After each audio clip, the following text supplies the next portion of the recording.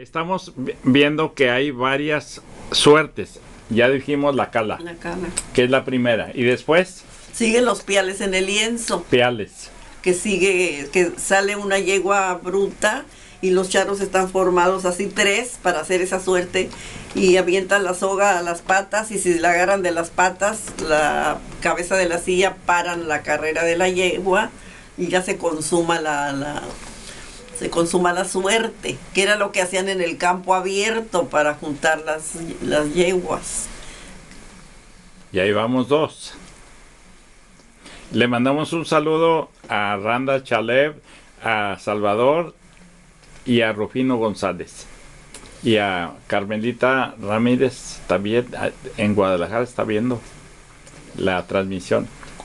Vean pues, y cuando fuimos a Guadalajara hubo un evento charro extraordinario en este pasado 2017, donde había un evento de corte internacional porque vinieron charros de todos, este, de, o sea, mexicanos que tenían en Estados Unidos asociaciones charras, en Colombia asociaciones charras y así. Una cosa bien interesante de los charros que vimos allá en, en Guadalajara. A Esmeralda Soto también. Ricardo Torres Lida dice que qué otro tipo de suertes también se manejan en, en la charrería. Pues como le dije que son 10, ¿no? Sí, son 10. bandas dos apenas. Dos. Después de ahí sigue la suerte de las colas. Sale el toro, lo espera el charro.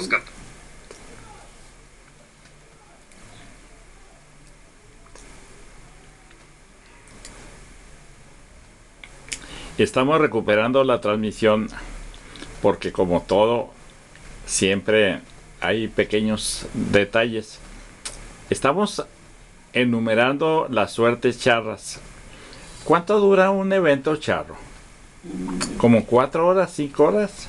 No, ahorita ya dura menos. Antes sí eran más. Ahorita dura como dos horas, tres máximo. En tres horas se transmite bien todo lo que es el trabajo. Sí, porque el tiene su reglamento y cada suerte es eh, calificada por los jueces. ¿Cuántos jueces son?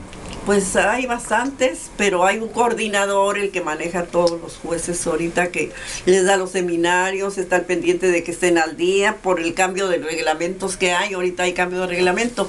Ahorita el coordinador de jueces a nivel estatal es un hijo mío que se llama José Julio Villaseñor González.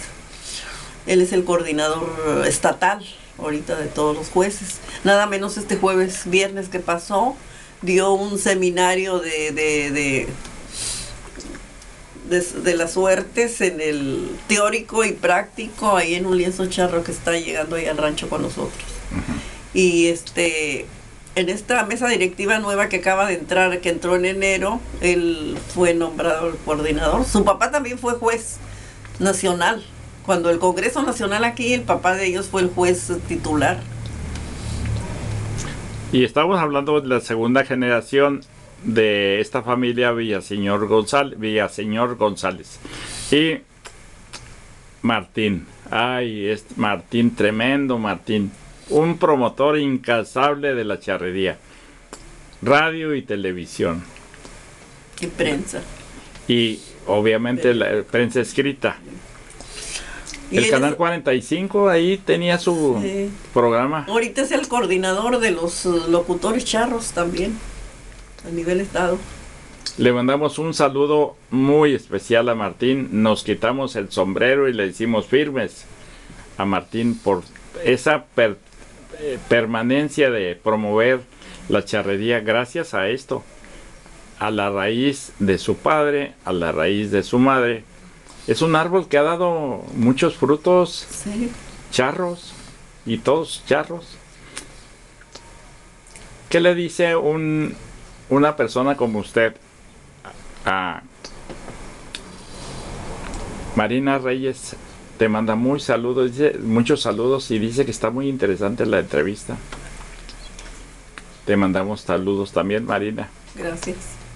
Y, y a estos niños que quieren empezar a hacer charros. Eh, ahorita hay grupos de niños que los charros grandes se abocan a ellos, a, ju- a juntar los grupitos y a enseñarlos.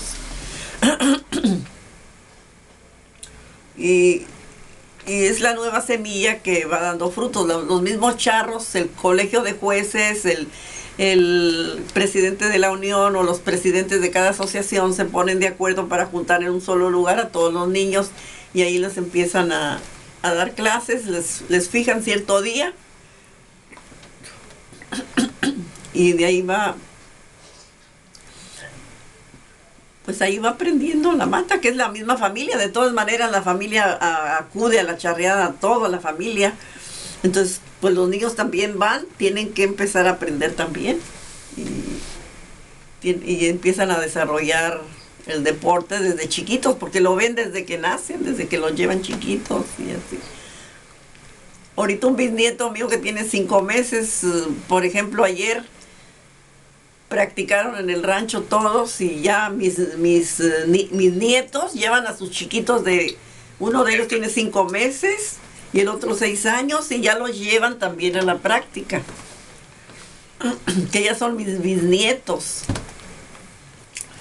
Fíjense nada más cómo una cosa nos lleva a otra.